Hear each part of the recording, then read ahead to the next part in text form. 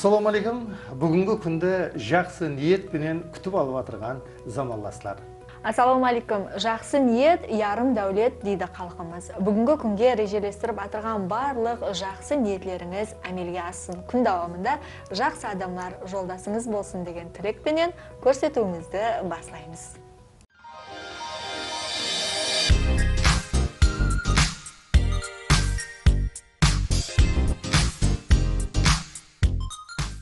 күнү э, таң азанынан ар күн адетибизге айланган яғни сол биринчи навбетте сол кол телефонубуздан социалдык тармактарды жаңалыкларды издейбиз тармактардан бүгүн де сол азыр көрсөтүүңүз башталмастан алдын жаңалыктар менен таанышып отурганымда жыйырманчы декабрь академик чаржау абдировдун туулган күнү экенин сол социалдык тармактарда көрдүк каракалпак калкынын мактанышы илимпаз улуу инсан шаржау абдировдун басып жолу илимий минетлери адамгерчилик фазилеттери бүгүнкү авлад үчүн үлгү мектеби болду десек кателеспейбиз албетте ушул мунасабатте саубетлешүү үчүн студиябызга мейман мурат эткенбиз тааныштырып өтөмүн география илимлеринин кандидаты доцент гуля хаджаеваны мурат эткенбиз ассалому алейкум кош келипсиз ассалому алейкум hakikatында да міне азыр рустем ага бир академикке өзгөчө тарип берди бүгүнкү сәни мунасабети менен бул инсанды және бир марта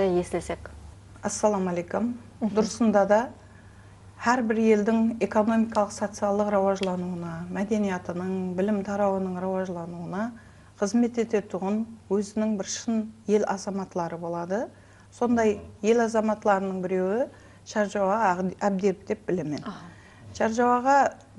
жүз отуз үчүнчү жылы жыйырманчы декабрь күнү азыркы кара өзөк районунда туулган өз заманынын эң алгыр билимли окуучусу болгон эрте жаштан баштап сол медицинага биология сол пәндерге кызыккан һәм өзүнүн кызыккан тарабы боюнча билим алып каракалпакстандагы эң биринчи медицина тарабы боюнча кандидат эң илимдер кандидаты эң биринчи илимдер доктору эң биринчи профессор эң биринчи академик. Сол тарабдын эң агыла инсаны болгон жаштарыбызга мен ушу чаржабага абдировдой билимли үлгү болгондой жаштар жетишип чыгуун тилер эдим келешекте һәмме жаштарыбыз оның мектебіндегідей мектеплерді өтсе келешекте өзінің орнын тауса деп ойлаймын. Чаржабага бұл жетіскенліктерге бір өзі жетіскен жоқ. Ердің сәні ел менен деген сол заманында оны тәрбиялаған ата анасы туған туысқанлары заманындағы білімдан оқытушылары һәммесі жәрдем қылған. Чаржабага соларды дұрыс пайдалана алған чаржабаганын минетлері жүдә көп әсіресе қарақалпақстандагы тек қарақалпақстан емес дүния алымлары микробиология боюнча бұл кісіні тән алған. Ол лепра кеселлігі боюнча соны емлеу жоллары боюнча бір қанша жұмыслар алып барған өзі бірнеше институтларды шөлкемлестірген сол кеселдикке каршы күрөсүү боюнча азыркы убакта да иштеп турган клиникасы бар. Илимдер академиясында иштеген дәуірінде де сол иммунология боюнча микробиология боюнча көп чыгармалар жазган һәм илим кандидатларын өзүнүн шакиртлерине жетип берген. Сондай ақ оның атына шаржау абдиров атындағы қайыр сахауат қоры шөлкемдестірілген. Қор көбінесе жастарды білім алуға ынтық болған жастарды қолдап қуатлауға олардың тәжірибелер қоюында һәммесіне толық әзір жәрдем беріп тұрыпты. Чаржау ағаның үй музейі шөлкемдестірілген. Бердақ атындағы милли музейде де чаржау ағаның көргізбесі шөлкемдестірілген арнаулы шөлкемдестірілген арнаулы сол уақыттағы істеген минетлері сол уақыттағы университетті ашудағы табыстары ондан кейінгі дәуірдегі студенттерге болған ітібары һәммесін сол жерде сәулелендіріп көрсетілген мүйіс шөлкемдестірілген біз азыр көріп жатырмыз бұл жерде илмий амелий конференцияның материалын яғни өмірін ілім һәм білімлендіруге арнаған ел ардақлаған алым атамасындағы яғни бұл сол міне осындай ұлы академиктің атын мәңгілестіру мақсатында һәр қилы шығармалар таңлаулары яки болмаса илмий амелий конференциялар өткеріліп жатырғанын дерек береді. Шаржау ағаның істеген минетлерін оның еріскен табысларын жастарға кеңінен таныстыруымыз үшін біздер әр оның юбилейлерінде университет көлемінде республика көлемінде әрқилы таңлаулар әрқилы конференциялар өткізіп жатырмыз ілми әмели конференциялар. Соларға ә, мысалы ретінде өмірін ілім һәм білімлендіруге арнаған ел ардақлаған инсан алым. Одан кейін өткен жылы түстілік арал бойының медико биологиялық һәм экологиялық машқалалар атындағы атламасындағы ілми әмели конференциялар өткіздік. Бұл конференциялардан өткізуден мақсат жас ілімпазлардың осы тарау бойынша жұмсалып баруын шаржау ағаның минетлеріменен кеңінен таныстыру әм жастарды ілімге бағдарлау үшін алып барылып жатырыпты шаржау абдиров өзінің бүткіл саналы өмірін еліне халқына бағышлаған алым деп білемін. Ол келешекте де еле біздерге көп оның оқылмаған кітаплары ашылмаған ілімлері бар. Сол ілімлерді давам етуде жастарға мен табыс тілеймін. Мәңгілестіру үшін және сол адамды жақсы тану үшін біз университет алдында да бар рельефін қойғанбыз. Бұл жас ойлаймын жақсы тәсір етеді. Әр көрген сайын сол алымдай бірінші академик бірінші доктор ілім докторы деген атақларды алуға біздердің жастарымыздан ұмтылса керек еле қарақалпақстанда бұндай жастар көп жетіседі деп ойлаймын азыр сәубетлесіп отырып сол нәрсе ытыбарымды тартты да яғни чаржау абдиров сөзіменен бірінші деген сөз қатты байланыслы яғни бірінші академик медицина тарауы бойынша бірінші ілім докторы бірінші ректор әлбетте бұндай ұлы инсанның аты еш уақытта өшпейді бұл үшін жас әулетта жаңа сіз айтқандай чаржау абдировтың ашылмаған ілім сырларын ере де іздерлейді деген үміттеміз сіздің алдағы жұмыстарыңызда табыстар тілейміз рахмет әлбетте құрметті телетамаша көрушілер бүгінгі академик шаржау абдиров хақында ә, телетамаша көрушілерімізге түсінік берген істеген минетлері хақында айтып өткен география ілімдерінің кандидаты доцент гуля хаджаева болды. Сізге өз minnatdorchiligimizni білдіреміз. Рахмет.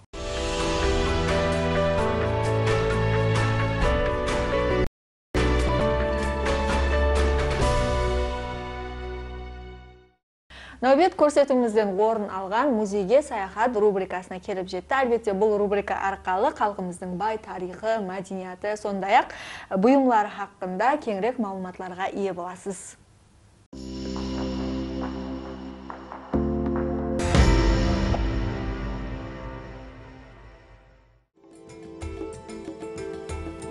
Ассалому алейкум азиз телетамашагөй достар музейге саягат рубрикасы және силер менен биргеликте бүгүн пайтактыбыздағы жайласқан каралпакстан республикасы тарыхы мәдениеті мамлекеттик музейинде силер менен биргеликте саяхат кылабыз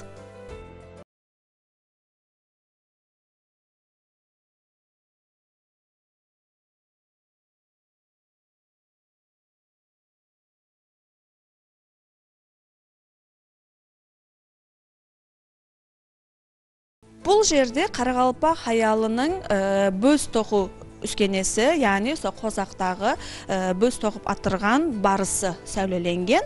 Сол менен биргеликте тек гана аял кызлардын эмес балким карагалпак калкынын ер адамдарынын да турмуш тарзын көрсөтүүчү макетлер орун алган солардан бири бул темирчилик устаханаларындагы көрүнүшлөр болуп эсептелет карагалпак калкында аял кызлар өзлеринин безенүү буюмларына этибар караткан болсо ал карагалпак калкынын ер адамдары өзлеринин атларын безегенди жакшы көргөн экспонатларда ошо карагалпак калкынын ер адамдарынын атларынын безенүү буюмдары болуп эсептелет ал бул музейдеги экспонатлар хакында ушул музейдин кызметкери биздерге көп эле маалымат берет міне музейімізде атлардың безену бұйымдарының бірнеше түрлері сақталмақта. Оларда мысалы ақбаслы ерді айтып өтсек болады. Ақбаслы ер музейіміздегі ең бейбақа экспонатлардың бірі. Ақбаслы ерді декарынан ерші ұсталарымыз соққан болса оның негізі ағаштан болған. Ал үстіңгі тарапіне тері қаплап шеткі тәреплерін сүйектермен безетілген. Бұл ердің алдыңғы һәм артқа ауып кетпеу үшін алдыңғы тарапіне синемент ба- байланған. Бұл синементтік э, теріден істелінген болып оның алдыңғы тарапіне қымбат бақалы тастармен безеу берілген ал артқа ауып кетпеу үшін құйысқан тағылған. Бұнан басқа аттың безену бұйымдарынан ат көзлікті айтып өтсек болады. Ат көзлік тикарынан гілем формасында тоқылған яғни кішігірім гілем формасында істелініп төменгі тәреплеріне шашақлар істелінген. Бұл аттың көзін маңлайына тағылып оның көзін шыбын шіркейден сақлау үшін пайдаланылған. Бұлардан басқа аттың безену бұйымдарына яғни тағалар тағаларды бұл атлардың тұяқларына тағылған тұяқларының желініп кетпеуі һәм аттымыз ұзақ уақыт қызмет ету үшін үлкен ахметлі болған. Атқа мінгенде ең тикарғы құрал бұл зәңгілер болып есептелінеді зәңгілер тикарынан таралғыға байланған таралғыға байланып зәңгіні ә, ретлестіру үшін яғни оны төменірек түсіру ямаса жоғарырақ көтеру үшін қызмет атқарған. Зәңгінің аттың бауырына батпау үшін оның астына тебінгілер қойылған. Тебінгілерді де шебер ұсталарымыз істеп оған нақыслар ойып теріден істелінген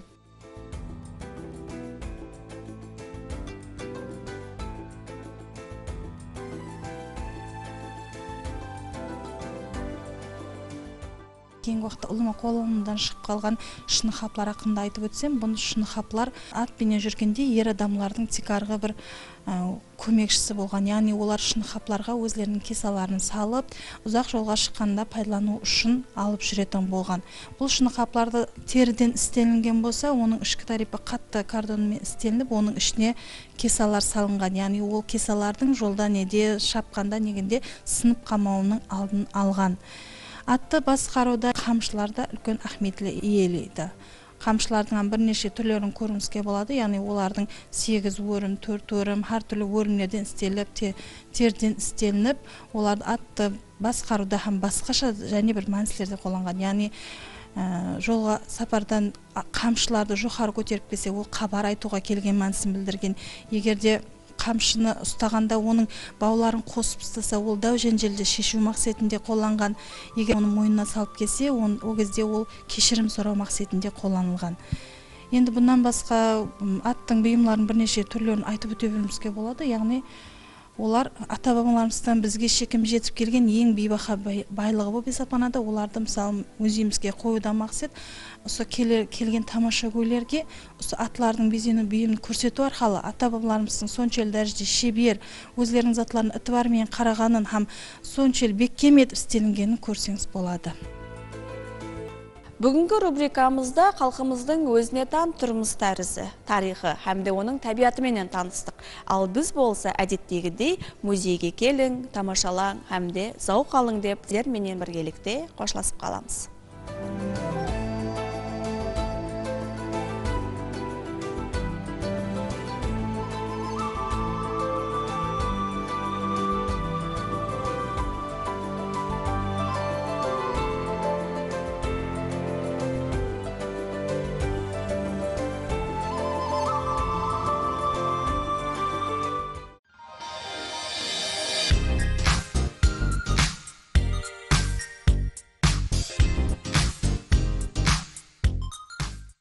Көрсетуіміз давам етеді. Ә, рустем бағана ә, күн тарихы хақында біздер көптеген маалыматтарға ие болдық.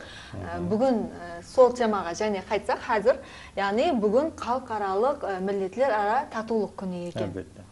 Міне осы сәне мүнәсебетіменен бүгін көрсетуімізге мейманмұрат еткенбіз. Таныстырып өтсем қарақалпақстан республикасы әділдік министрлігі бас маслихатшысы исатай алдабергенов. Ассалаумағалейкум алейкум ассалам ассалаумағалейкум исатай студиямызға қош келіпсіз. Сізге дәстепкі сұрауымыз. Ә, бүгінгі күнде миллетлер ара татулық ділдер ара кеңпейілдік саясаты мемлекетіміз саясаты дәрежесіне көтерілген. Міне осы идеяның хухи тикарлары қандай һәм осы салада мемлекетіміз тарапынан қандай істер әмелге асырылмақта? Дұрыс айтасыз. Ә, біз соған айрықша бар қаратуымыз керек. Егер халықаралық көлемде алып қарайтын болсақ кейінгі берілген статистикалық көрсеткіштерге қарағанда бүгінгі күнде дүние жүзінде жеті миллиард жеті жүз миллион халық бар. Жәм бұл жерде жеті мың тіл инабатқа алынған сонымен қатарда екі мыңға жақын қырық милләт уәкілі жасайды. Бұл дүние жүзіндегі этник картина есептелінеді хақиқатынан бұл мемлекетімізде қаресті қолға кірткеннен кейін біздің бас идеологиямыз жаратылды. Осы бас идеологиямыздың талаптарынан көрі демек біздің бас мақсатымыз азат һәм абат отан еркін һәм парауан тұрмыс болатын болса осы бас идеологияның жеті принципі жаратылды сол жеті принциптің ішіндегі ә, ең тек ара принциптердің бірі бұл міне жоғарыда өзіңіз айтып өткендей милләтарара татулық һәм дінарара кеңпейілік болып есептелінеді. Ә, бұл ә, сөздер қысқа болуына қарамастан әмелиятта халықаралық көлемде ұлыма айтқанда инсан тарихында оғада ахметке ие сөздер болып есептелінеді. Неге деген уақытта бұның хұйдикалар қаяқтан жаратылды деген уақытта бізде егер халықаралық көлемдегі хұй құжеттерге этибар қарататын болсақ бұл мәселеде бірлескен милләттер шөлкемі тарапынан үлкен қадам тасланған бір мың тоғыз жүз жылы. Демек бұл дәуірде сол ә, кеңпейлік принциптері хақында декларация қабыл етілген. Сонымен қатарда міне бәршенің хабары бар құрметті президентіміз бірлескен милләттер шөлкемінің бас ассамблеясында міне осы тарауға айрықша этибар қаратқан еді. Бұл бойынша демек бірлескен милләттер шөлкемінің айрықша резолюциясын қабыл ету хақында мәселеге тоқталып өтті. Яғни бұл демек ағартушылық һәм діни бауыркеңлік хақында резолюция еді.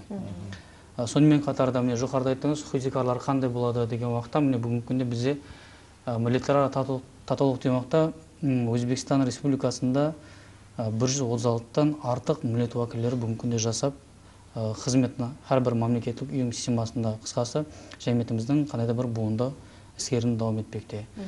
Бұл дегені мәселен худикарлар қаяқта көрінеді деген уақытта бізде конституциямызда ә, сондай нормалар белгіленді. Әрбір жәмиеттік қатынастарда ә, егер конституцияның бірінші бөлім һәм үшінші бабына этибар берсек жәмиеттің әрбір саласында заң енді осы айтылған бағанағы идеялардың құй кепілігі қаяқта деген уақытта конституциямыздың 18 статьясында ә, сонымен қатарда міне жетінші статьясында өзбекстандағы барлық шахстардың теңлігі принципіне әмел етілуі белгіленген. Ол шахсы миллеті жыныстан тысқары міне осы мәселелер бұны хутикар екенін белгілеп жатыр егер де міне осы нормалар бұзатын болса демек өзбекстанның харекеттегі нызамшылық талаптары бойынша бұған да белгіленген жауапкершілік тикарлар белгіленген.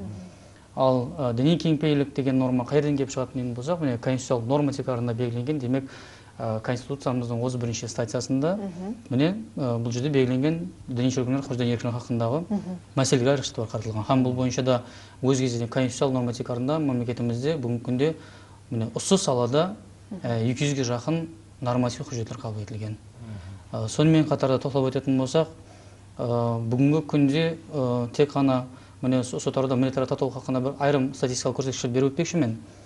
Егер де өзбекстан көлемінде алып қарайтын болсақ өзбекстан көлемінде бүгінгі күнде har xil millat vakillarining o'z huquq ham nizomli yuzaga chiqarish maqsadida сондай jamiyatlar tuzilgan mine milliy madaniy deb aytiladi ya bo'lmasa do'stlik jamiyatlari deb aytadi Ә, o'zbekistonda оның саны бүгінгі күнде бір жүз отыз сегізді құрайды милләтлер ара татулық тәмінлеу мақсатында milliy madaniy o'ralarning sani ал дослық жәмияттердің саны болса отыз төртті құрайды ғарестік дәуірінде міне осы әрбір милләтке айрықша этибар қаратылды мемлекетімізде бұл тек қана бүгінгі күнде келіп өзінің актуалын тауған жоқ. Біздердің егер ата бабаларымыздың тарихына назар- назар тастайтын болсақ бұл біздердің қан қанымызға сіңіп кеткен менталитетіміз есептелінеді Ә, сол өзге діндегілерге құрмет көрсетілуі сонымен қатар да тарихқа этибар қаратсақ орта азия шариғатында бүгінгі күнше бірқатар милләт уәкілдері жасаған һәм xil діндер үкім сүрген бұл бұрыннан әсерлі дауымда қалыптаспеген һәм ә, бұл мәселеге мемлекетіміз елде айрықша этибар қаратпақта һәм соның ақыбетінде бүгінгі күнде ә, міне мемлекетімізде мемлекеттік сыйлықтар жүктеместірілген бір жүз жиырмадан артық осындай уәкілдерге мемлекеттік сыйлықтар берілген болса мемлекеттік сыйлықтардың ең жоғарысы есептелған міне өзбекстан қаһарманы. Мемлекеттік сыйлығы осылардан он төртіне берілген болып есептелінеді бұл дегені міне мемлекетіміздің тек арғы бағдарларының бірі болып есептелінеді сонымен қатар да міне екі мың он жеті һәм он тоғызыншы жылдарда сондай бір айрықша құжаттар қабыл етілді Ә, милләтаралық татулық тәмінлеу мақсатында мемлекеттік ұйымдар болады. Бұл мемлекеттік ұйымдар осы тараудағы істерді ә, терең талдау арқылы прогнозластыру арқылы ә, әмелиятта істелуінде қандай да бір кері әсер етуші факторлар болатын болса соны анықтап оның механизмін белгілеу қаратылған сондай бір ұйымдар болып есептелінеді ғарестік дәуірінде бізде республика интернационал мәдениет орай деген бар еді һәм кеңес бар еді екі орган. Міне сол президентіміздің таза пәрман талаптары бойынша осы органлар қайта шөркінместірілді қайта шөркінместіру мünәсәбәтімен министр кабинетінің құрамында мүліктер ара татулық һәм сыртқы мемлекеттермен достық байланыстар комитеті шөркінместірілді бұл комитет тікелей осы ә, тараудағы іскерлікті мұқиятластырушы орган болып есептелінеді һәм бұл органға айрықша уәкілеттер берілді. Міне бір тарау бірнеше тарауларға бөлінді. Сонымен қатар да бұл президентіміздің елу қырық алтыншы санлы ә, парламент талаптары бойынша реттестірілген болса тәртіпке салынған болса. Сонымен қатар да міне екі мың он тоғызыншы жылда сондай бір тарихи ахметке хұжет қабыл етілді. Бұл елу сегіз жетпіс алтыншы санлы президент парламент талаптары бойынша демек ол сондай болып айтылады. Миллет ара татулық тарауына тиесілі болған өзбекстан республикасы мемлекеттік саясаты концепциясы болып есептелінеді Ә, бұл президент парманында үш мәселеге айрықша қаратылды біріншісі концепцияның өзі тасқыланды Ә, концепцияда әрбір бағдар белгіленді. Осы тараудағы іскерлікті мұқиятластыру бойынша шөкімдестіру мәселесінен бастап міне бүгінгі күнде осы көрсетудің өзінің шөкімдестіруде міне осы концепцияның орындалуының бір белгісі болып есептелінеді. Халықтың арасында осы мәселені үгіт насихаттау болып есептелінеді. Ә, екіншісі бәрібір әрбір ислами ресторанта оның міндеті болу керек болып есептелінеді һәм тиісті орындаушылары бұл бойынша жол карта тасқыланды һәм осы концепцияның жол картадағы белгіленген әрбір вазипаның нәтижелі шөкімдестірілуін тәмінлеу мақсатында ә, арнаулы комиссия түзілді. Бұл комиссияның құрамында кімдер түзілді деген уақытта бірқатар бізде халық соны түсіну керек. Мемлекеттік ұйымдарменен бір қатарда ә, сол мемлекеттік емес коммерциялық емес шөкімдердің уәкілдерінің қатынасында. Бұл нені береді деген уақытта міне бүгінгі күнде мемлекетімізде ә, президентіміз де кеше мемлекетіміздің ә, тикаран заман конституция байрамын өсетмен қылған ә, салтанатлы рәсімдегі баянатында ә, сол затқа айрықша Ә, сол тикарғы басты бағдарлардың бірі сипатында жәмиетте жәмиетшілік қадағалаудың рөлін елде асыру мәселесіне. А бұл дегені бүгінгі күнде өзбекстанда бұдан басқа және ә, социалдық шерікшілік хақынан заң бар.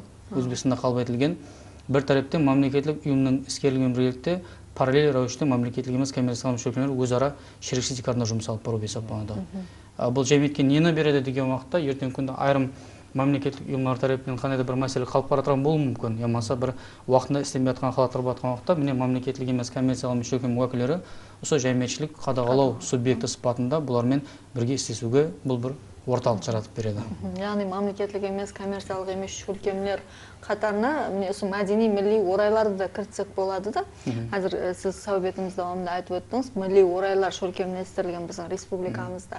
Бұл да сол әрбір миллеттің өзінің сол қадіриятларын рауажландыру мақсатында түзілген яғни үгіт насихатлау бұлардың жұмыстарының цикарласы осылар хақында да тоқтап өтсеңіз яғни бүгінгі күнде қызмет алып бара жатқан мәдени милли орайлар хақында. Дұрыс айтасыз жүда ахметлі буын есептелінеді мәдени неге десеңіз бұқаралар сол нәрсені түсіну керек болады біздер бұл тарауды тәртіпке салушы бірқатар нормативтік құжеттерге тоқталып өтемін біріншіден бұл өзбекстанда мемлекеттік емес коммерциялық мүшелік хақынан заң екіншісі мемлекеттік емес коммерциялық іскерлік кепілгер хақынан заңымыз бар сонымен қатар жәмиеттік бірлестіктер хақынан һәм осы тарауды тікелей тәртіпке салушы 2014 жылы 10 март күні өзбекстан республикасы үкіметі тарапынан тасdiqlanған реже бар. Демек мемлекеттік емес коммерциялық мүшелерді мемлекеттік тізіміне өту тәртібі бойынша.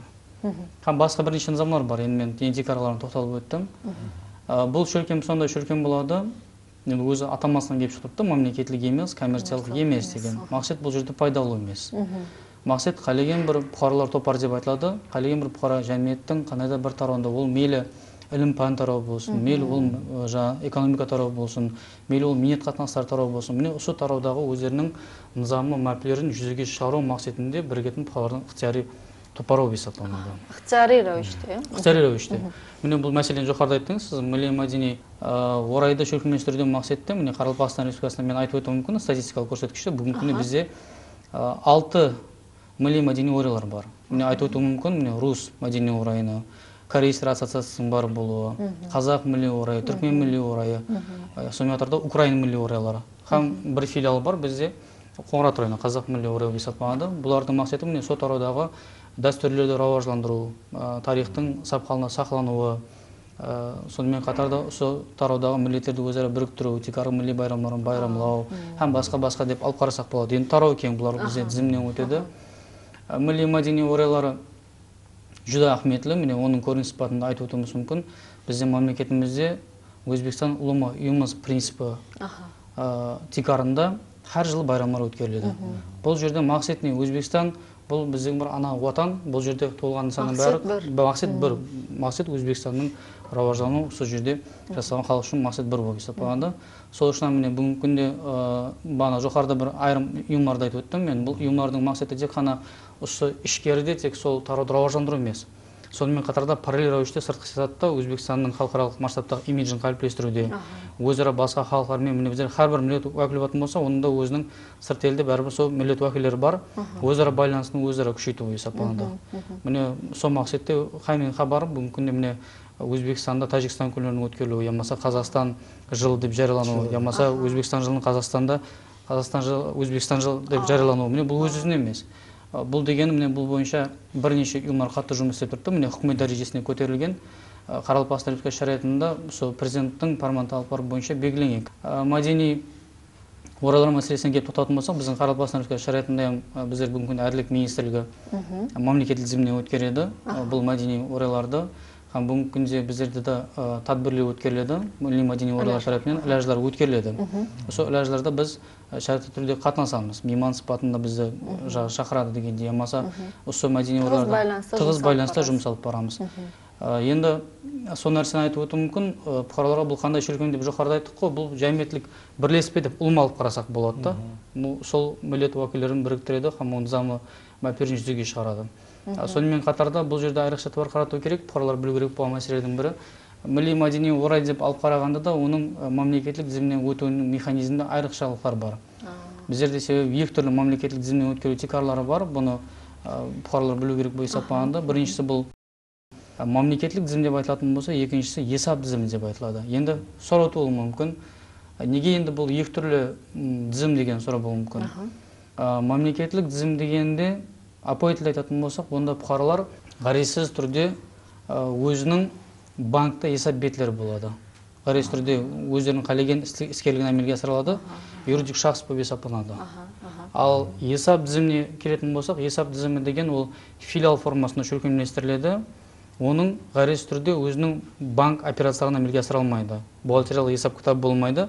Ол бас шөлкемге ғана бойсұнады тек сол шөлкемнің уставында белгіленген мақсат һәм вазифаларды әмелге асыру мақсатында қандай да бір аймақта өзінің іскерлігін жүргізеді. кете алмайды. одан шығып кете алмайды одан тысқары міне осы екі формада. Бүгінгі күнде міне жоғарыда айтып өттім мен алты бізде қаралбастан шариғатында милли мәдени орайлар бар дедім. Ә, соның бесеуі бүгінгі күнде мемлекеттік тізім деп алатын болса міне қоңырат районында біз айттық. Қазақ милли орай бар дедік. Міне бұл орай демек сол есап тізім деп есепталады сондай ақ соны айтып өтуім мүмкін міне милletтерара татулық ара кеңпейілдік идеясының әмели дауам сипатында мемлекетіміз президент тарапынан айрықша этибар қаратылды. Баршамыздың хабарымыз бар. Демек мемлекетімізді еледе рауаждандыру қаратылған харакетлер стратегиясы қабыл етілген. Сол харакетлер стратегиясының демек бесте бір бәнтінде міне осы мәселеге айрықша этибар қаратылған. Демек қауіпсіздік милитарлық татулық һәм діни бауыркеңлік кеңпейілікті тәмелеуге қаратылған ә, нормалар белгіленген.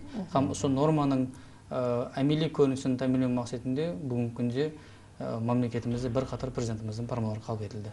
Бізді тамашалап жатырған тамаша көйлерімізде бүгінгі сәубет арқалы э, бұл осы тараудағы хұқитикарлар сондай ақ мемлекетімізде қызмет алып барып жатырған мәдени орайлар хақында кеңірек мағлұматқа ие болды деп айта аламыз. Сізге мазмұнды сәубетіңіз үшін minnettarшылығымызды білдіреміз.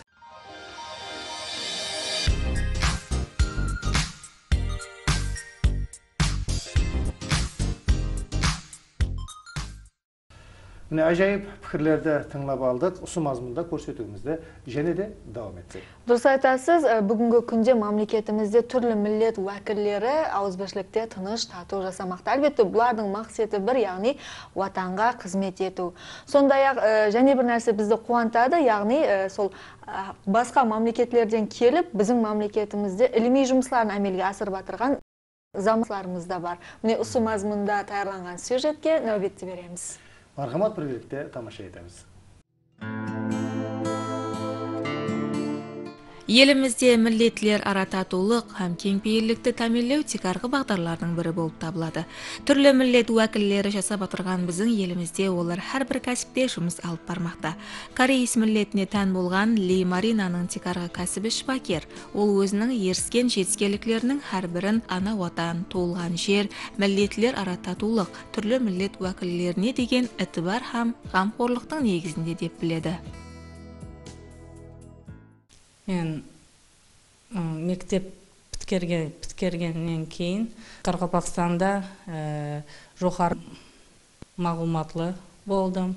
Ә, екі мәрте ә, жәнібек кореяға барып қайттық. И екі мәрте россия федерациясына барып оқып қайттық. Сол елде жасап консулармен қатынасып сол бәр ә, тілге байланысты болған үшін бәрібір сол тілді білу керек. Енді өзінің шпакерлік жұмысыменен айланып келгенде бәрібір сол тілге келеді. Сол тілді білу шарт деп сондай өзім өзіме сол вазипасын қойып сол тілді үйреніп алдым. Сол жерде жасап сол қожалығы болдым перзентлерім бар. Сол жетістіктерге ерісіп сол бәрі еліме байланысты деп сол есептаймын Сонымен бірге қазіргі уақытта елімізде әрбір тарауда сырт елі қанегелерменен бірге істесу де жолға қойылмақта. Ажинияз атындағы Нөкіс мемлекеттік педагогикалық институты талебінен қазіргі уақытта бір қанша жұмыслар алып барылмақта. бізле көбінесе сол сырт елден келген экспертларменен қанегелермен істесеміз біріншіден бізге американский посольстводан көп имканиятлар жаратылып кеватырды қызығады көбінесе біздердің мұғалімдерге үйретуге келеді. Методологиядан инглиз тілінен сабақ қандай жақсы үйретсек студенттерімізге инглиз тілін. Сол біздердің жақсы жұмыс істегеніміздің нәтижесінде біздердің кафедрамызға волонтер берілді. А, волонтердің мақсаты бұлар сабақ өтпейді бірақ қосымша мұғалімдермен бірге істейді. Сабақта отырады әр күні біздердің мұғалімдеріміздің сабақларының өту дәрежесін өту процесінде қатынасады. И қосымша студенттерменен сөйлесу мәдениетін өсіру үшін сабақлар өтеді. Америкалы Эмма Уилберде қазіргі уақытта біздің елімізде мейманда. Әсіресе оның қарақалпақ жастары халқымыздың меймандосылығы хақында айтқан пікірлері жүдә жағымлы. the excitement before I came, I guess, because when I applied for the program, the program that I'm on. Мен жетілерімді бұл жерге яғни өзбекстанға келу үшін тапсырғанымда мәдениеті хақында аз кем маалыматқа ие едім. Қарақалпақстан хақында онша маалыматқа ие емес едім. Бірақ нүкіске келіп бұл қалаға қызығушылығым артты. Америкадан алыста болған мені бұл жер нүкіс жатырқамады адамдары жақсы күтіп алды. Men Karakapakstan'a kelgenimden tilin öğrenüge bolgan tırıskaklığı hem olardın neticesi beni o kadar hayran kaldırdı.